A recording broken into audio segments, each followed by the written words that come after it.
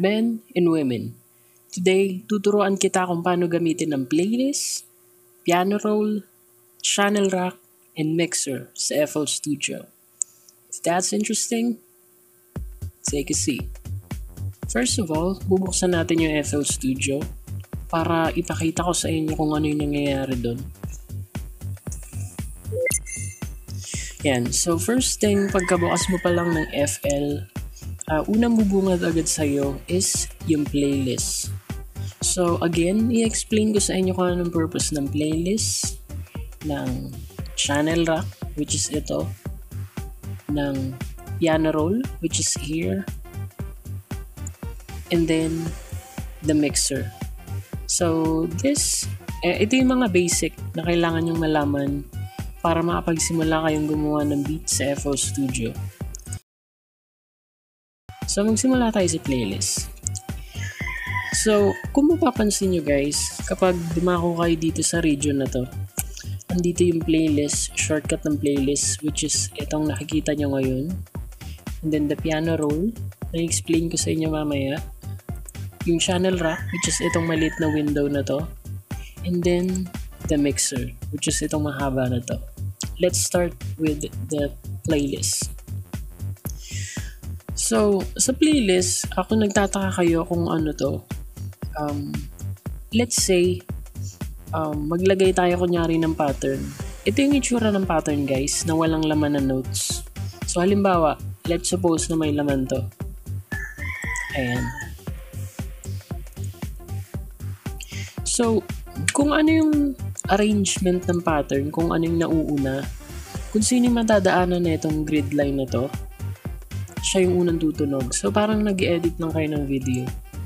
So, para mas maintindihan nyo, lalagyan natin siya ng laman. By the way guys, yung playlist, para mas ma-edit nyo ng maigi, nasa-zoom in po yan. Yan, makikita nyo yung mga boxes na yan, nasa-zoom in yan. Okay. So, um, siguro nagtatanong kayo ngayon, uh, paano lagyan ng note or paano gumawa ng note or ng tunog sa FL Studio. So, dyan ngayon papasok yung audio rack, which is ito. So, basically yung audio rack, uh, dito nyo uh, nilalagay or iniimbak yung mga instrument, mga digital instrument na gagamitin nyo para makapag-produce kayo ng iba't ibang klase ng tunog. So, uh, for example, maglagay tayo dito ng piano. Yan. Ito yung mga listahan ng mga digital instruments na makikita nyo sa FL Studio nyo. Let's say, maglagay tayo ng piano.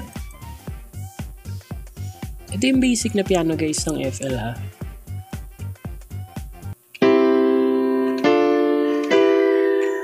Ayan. So, ito yung um, digital instrument natin na piano sa FL. Kung makapansin nyo, may tunog yung bawat keys na yan. So, ano naman yung piano roll?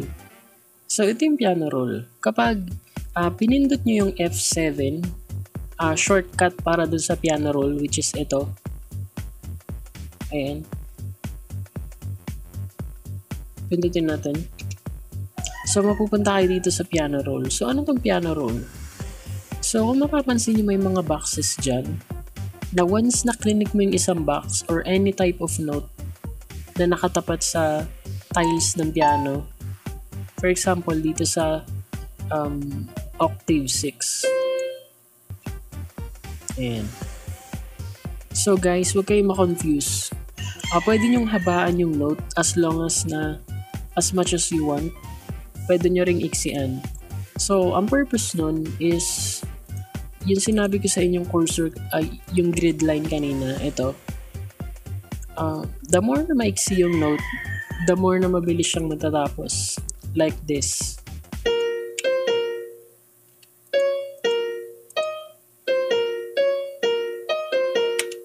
Nagigets nyo ba? Pero kung mapapansin nyo pag hinabaan nyo siya,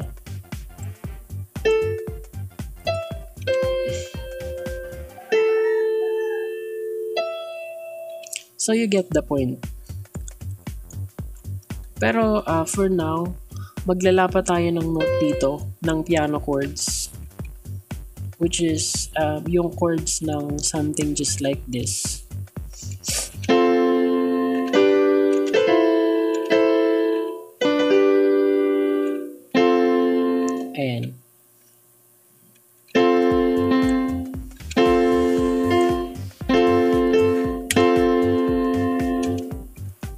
Masyado siyang mahaba.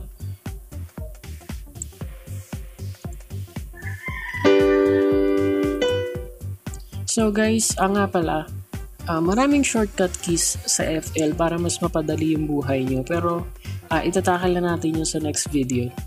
So ituturo ko lang muna sa inyo kung ano yung mga basic na spots or places sa FL para maging familiar kayo. So currently nandito tayo sa ano sa piano roll. Sa piano roll ng piano na instrument.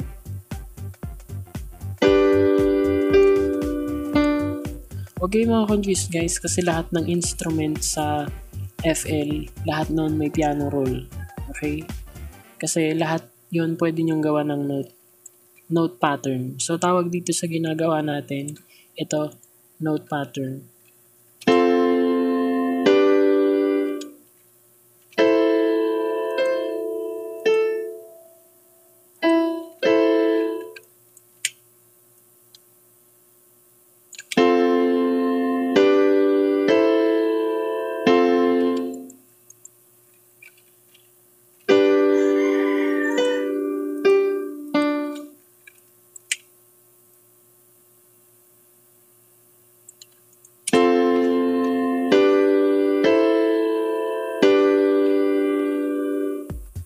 So, let's say nakagawa na tayo ng uh, note pattern. So, kung gusto niyo siyang mas pahabain, pahabain pa, pwede niyo pindutin yung control shift and then drag para doblehin. Basically, dinodoble niyo lang yung mga yung note pattern niyo like this.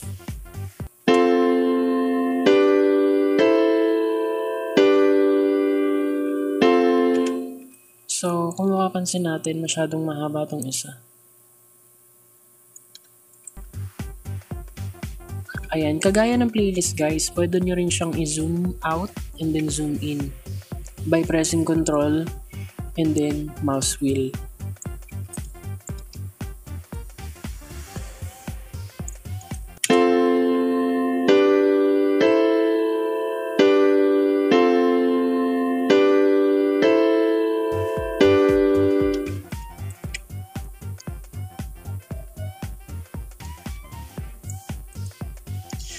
So let's say nakagawa na tayo ng note, ng note pattern sa piano roll ng piano instrument natin. Balik tayo sa playlist. So, ito yung playlist. So, yung shortcut key ng playlist is F5. Paano ko nalaman? Kapag dinarag nyo yung mouse dito, makikita nyo yun dito. Dito sa region na to. So, drag ulit natin. So, makikita nyo yung F5 dun sa part na yan. Okay, so nandito na tayo sa playlist. So, huwag kayong malilito guys. Halimbawa, nakagawa na kayo ng note pattern. Again, ito yung channel rack. Nag-load kayo ng FL key or ng instrument. Then, press F7 para mapunta kayo sa piano roll. So, kapag nakagawa na kayo ng note, um, pupunta lang kayo sa playlist. Then, click nyo lang yung region. So, automatically, mapupunta na yung note na ginawa nyo dyan sa playlist. Play natin.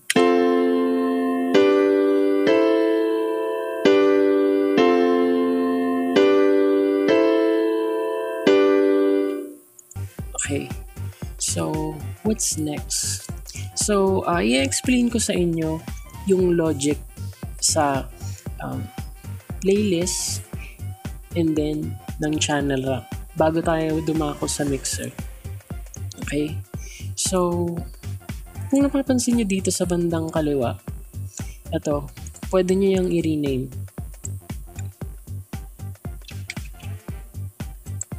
Pwede nyo ring lagyan ng kulay. Ayan. So, basically, itong um, maliit na rectangle dito, tawag dyan, uh, playlist pattern. So, parehas lang siya. Pwede nyo siyang tawagin ng playlist pattern or playlist kasi um, parehas lang sila. So, ito, yung laman niya is ito. Okay? So, kung mapapansin nyo dito sa bandang taas, sa may tabi ng shortcut key ng, I mean, shortcut button ng playlist, mababasa nyo yung pangalan ng playlist nyo, which is piano. Then, pag mag-add kayo, press nyo lang itong plus. And then, let's say maglalagay tayo ng uh, kick. Tignan natin ang color para organize. Okay, so, kung nalilito kayo or kung nagtatanong kayo, bakit kailangan pang mag-add ng panibago? Hindi na lang pwedeng ito na lang. So, Um, basically, kaya tayo nag-add ng bagong playlist kasi uh, let's say, nandito tayo sa playlist ng piano. Nandito tayo sa playlist ng piano. And then, gusto nating mag-add ng panibagong instrument. So, ito yung kick. So, kapag binuksan nyo yung FL, uh, automatic na makikita nyo yung apat na instrument na to. Itong kick, and itong clap, hi-hats, itong snare. So, automatic na yan. So, uh, let's say, uh, hindi na tayo, hindi tayo nag-add ng panibagong playlist. Nilagay na lang natin yung bagong instrument dito sa region ng piano or sa playlist ng piano. Let's say. Ayan, gumawa tayo ng pattern dito. F7 para mapunta tayo sa piano roll. Kung mapapansin nyo, makikita nyo yung parang gray or yung pattern na ginawa natin kanina. Yung purpose niyan, ipapakita ko sa inyo bakit.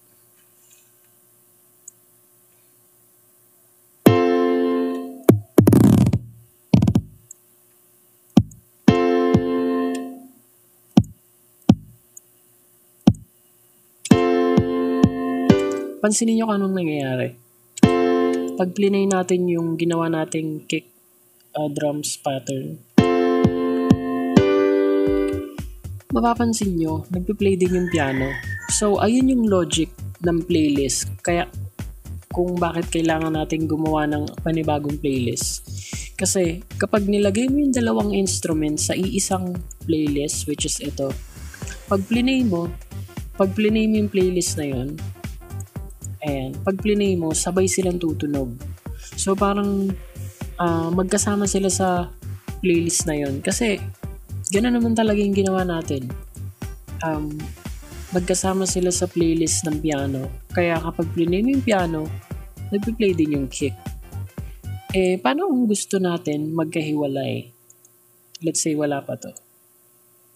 So, paano kung gusto natin magkahiwalay para kapag inedit natin, or para kapag plinay natin yung piano lang or ine-edit natin yung piano lang, hindi sila magsabay. So, ang gagawin mo is mag-add ka ng paniwagong playlist which is dito sa region na to.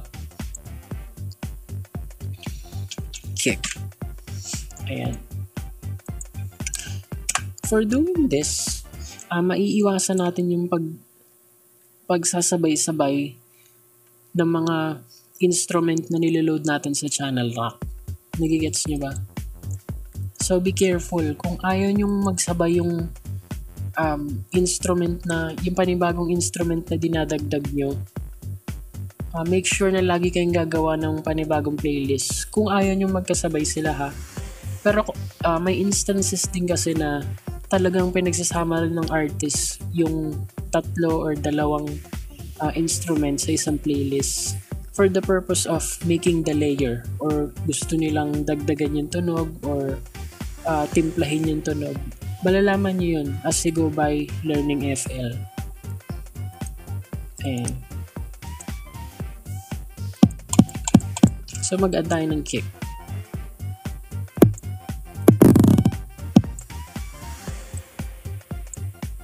So pag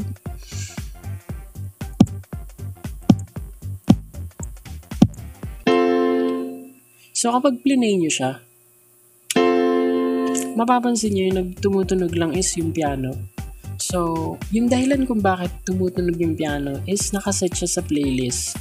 Or pag plinay mo siya, yung tutunog, yung nandun sa, play, nasa playlist na mismo. So, balik tayo sa piano roll ng drums. So, para maiwasan natin yun, para ma-isolate natin na yung drums lang yung naririnig natin kasi ine-edit pa nga natin, di ba? Ginagawan pa natin ng pattern. Dito sa region na to, sa bandang upper left, makikita nyo may song and then pattern. So, pag clinic nyo yung song, pag plinay nyo siya, ang maririnig nyo, yung mga notes na nakalapat na dun sa playlist. Okay? Pero kapag clinic nyo yung pattern region, ang maririnig nyo lang yung kasalukuyang uh, instrument na ginagawa nyo pa ng pattern. Gets? So, yung drums natin, medyo bagalan natin ng konti para umakma siya dun sa ginagawa natin.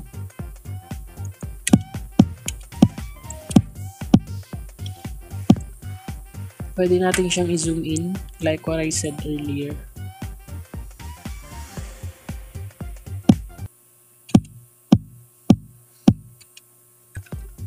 Ayan, copy-paste para hindi kayo mahirapan, para hindi masayang yung oras nyo.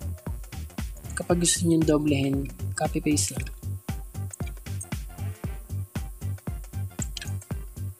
Again, yung copy-paste uh, shortcut keys, ituturo ko yan sa inyo later on. Don't worry. Ayan, so babalik na tayo ngayon sa playlist. So, i-click natin yung drums dito, yung drums, yung region ng drums. Ayan. Again, so, kung saan nyo nilapat yung piano, yung drums, sila yung unang tutunog once na nadaanan sila ng uh, grid. So, ganito.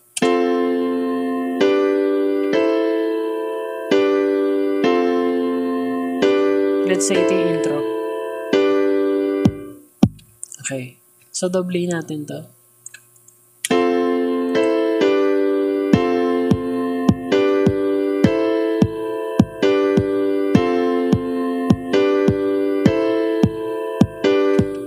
Okay. So, ayun, na-discuss ko na sa inyo kung ano yung purpose ng playlist or yung basic ng playlist. And then ng channel rack. So, sa channel rack, may i-add lang ako ng konti. Um, ito, itong mga knobs na to.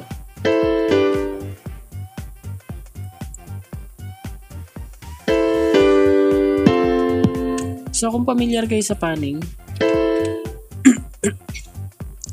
uh, yung panning is uh, nililipat mo yung, sa, yung sound it's either sa left or sa right. Okay?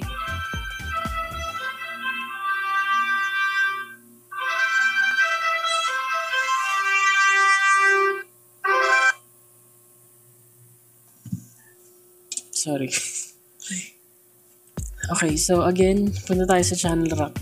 So, yung panning, yung panning effect,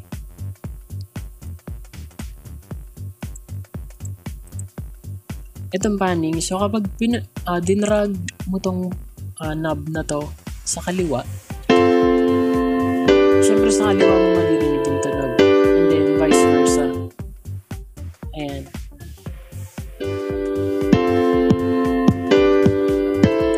Nagets nyo yung purpose nun. And then ito, yung volume.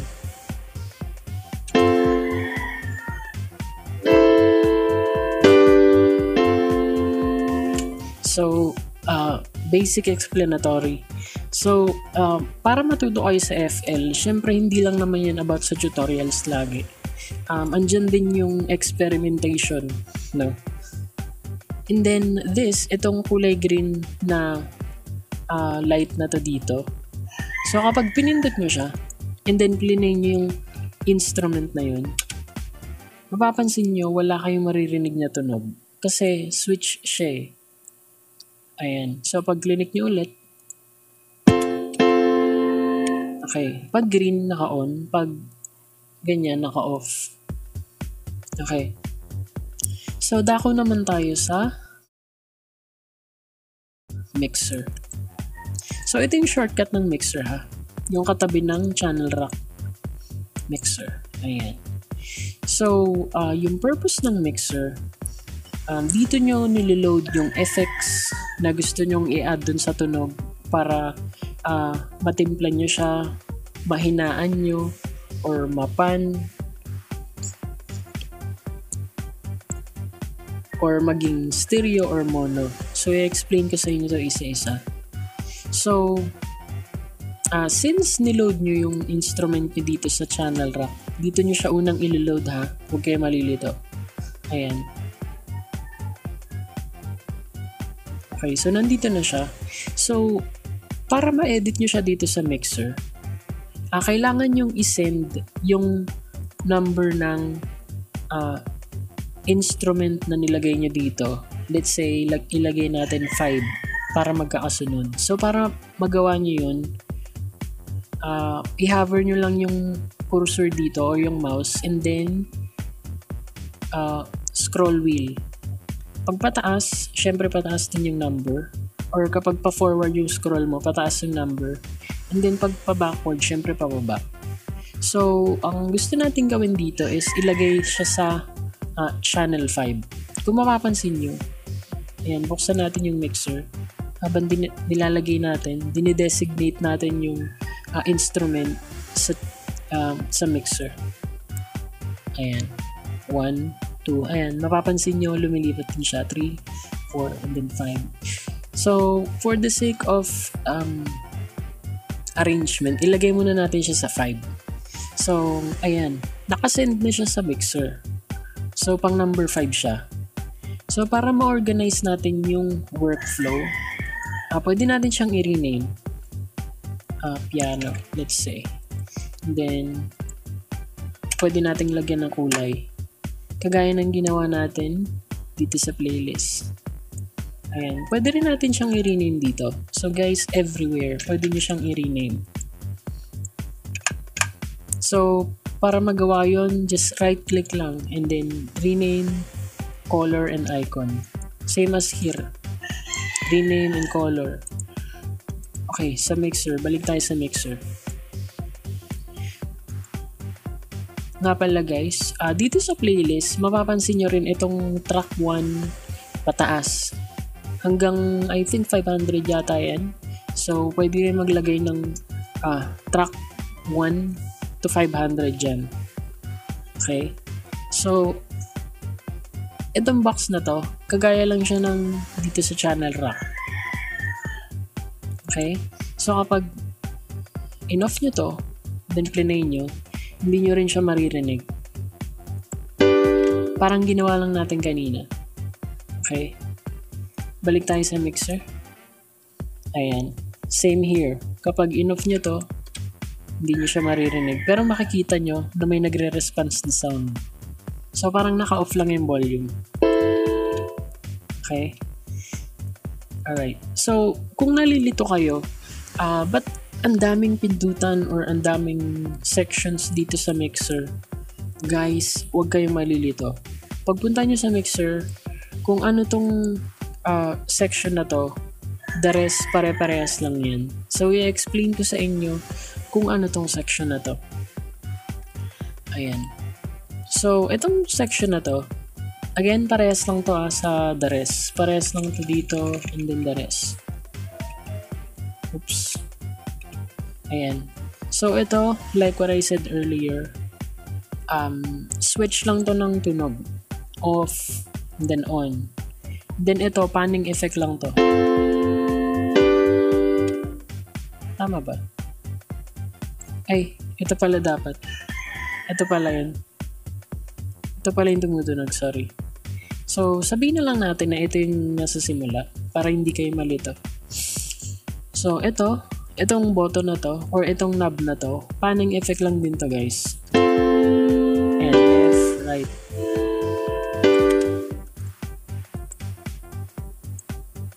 And then, ito volume. And volume. Itong fader na to, volume to. And then sa baba, wag nyo na munang intindihin tong mga buttons na to kasi hindi naman siya ganun ka-importante and uh, to tell you, hindi siya masyadong nagagamit sa mixer. Pero may purpose siya. And then, ito for um, let's say ito yung channel nyo para mag-record ng boses pipindutin nyo lang yan and then maririnig nyo na ako nagsasalita so yun yung purpose niya and then ito ah, itong kable na to once na-clinic nyo to dito pag naka-disconnect siya sa master kahit i-play nyo pa yan, kahit nakabukas pa to, hindi siya tutunog. Kasi, yung master yung pinaka-volume ng mixer eh. Pero, once na binalik nyo siya dito, tutunog na siya. Okay? Again, itong uh, channel na to, parehas lang to sa mga katabi niya. Then, i-explain ko naman sa inyo dito yung master. So, the same lang. Um, panning knobs, volume, mono in stereo. Parehas lang siya dito. So, pakinggan natin. Kapag ginawa nating mono, mapapansin nyo yung tunog. Parang nasa gitna lang siya, tapos napakaliit niya lang. Pero pag ginawa nating stereo, parang ang lawak niya. So, again, stereo, um, para palawakin, then mono, para nasa gitna lang yung sound. So, ito rin yung technique guys ng mga kanta na naririnig nyo na parang may naririnig kayong drums dito pas, tapos dito gitara lang. Yun yung uh, technique na ginagawa ng mga DJs or ng editor. Okay, back to the mixer. So guys, kapag clinic nyo tong channel 1 or channel 2, 3, or 4, makikita nyo dito yung itong parang digital na kable na to. So, gaya ng sinabi ko sa inyo kanina, may purpose yan. Once na tinanggal nyo siya, ibig sabihin, parang yung kable sa speaker, pag tinanggal nyo, hindi siya nakakonect, hindi siya tutunog. Pero kapag binalik nyo siya, by clicking this arrow, ayan, nakakonect na siya. So, for example, dito, ayan, pag play nyo, hindi siya tumutunog. Kaya kailangan lagi siyang nakakonect. So, itong knob na to, volume din siya guys. So, siguro kung nagtatanong kayo, bakit may, uh, bakit kailangan may mas, uh, master sa mixer? Kasi, um, for example, ito, itong drum pattern natin. Punta tayo sa channel rack. Itong drum pattern natin, naka-assign siya sa channel 1. So, kapag dinouble click natin to, shortcut din siya sa mixer. Ayan. I-isolate natin ngayon yung drums. Ayan. Control and then click yung channel 1. So, mapapansin nyo, yung drum lang yung tumutunog. Or yung kick lang yung tumutunog. Kasi naka-isolate siya. So, meaning, lahat ng channel na kasama niya or lahat ng instrument is naka-off. Ayan.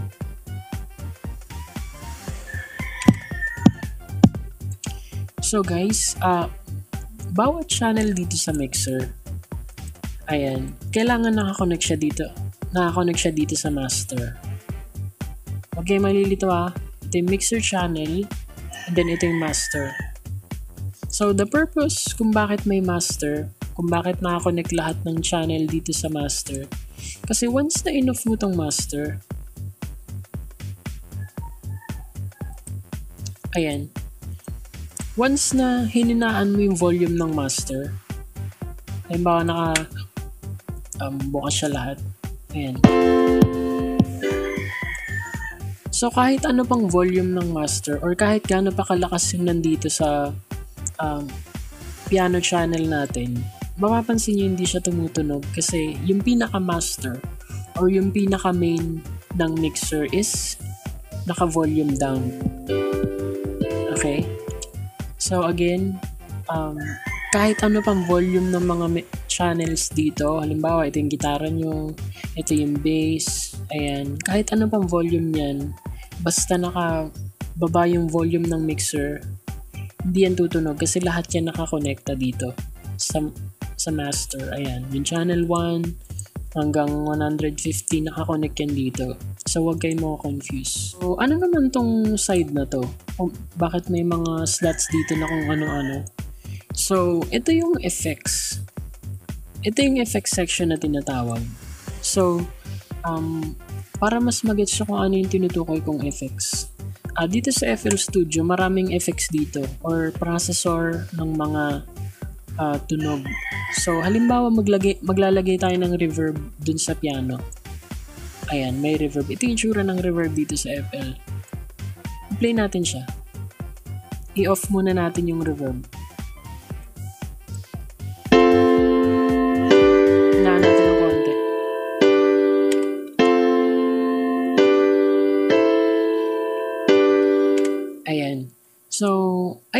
Pinakatunog ng piano. Pero kapag binuksan natin yung effect na nilagay natin, which is reverb, ito yung maririnig nyo.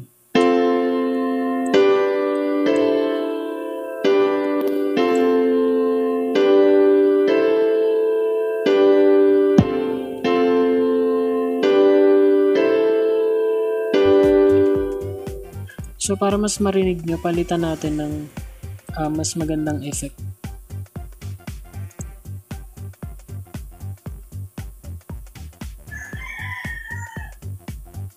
Um, let's say OTT. Ayan. So itong mga VST na niloload ko guys, uh, ituturo ko sa inyo to sa mga next na video na paparating. Dito muna tayo sa basics. Okay, so halimbawa nag-load kayo, clinic nyo tong um, drop down na to and then replace or kapag wala pang laman yung section, select and then dito kayo pipili ng VST plugins. Okay?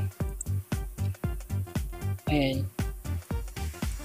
I-compare natin yung piano na may effect sa wala. Ito yung walang effect.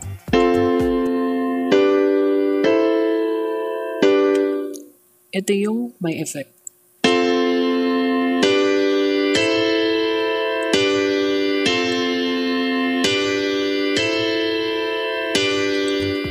Again, yung may effect. Yung walang effect.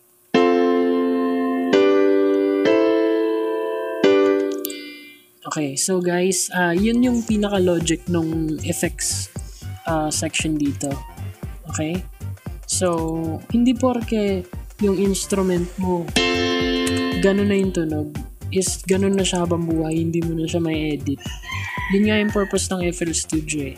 Para gumawa ka ng sound and then para ma-edit mo yung sound.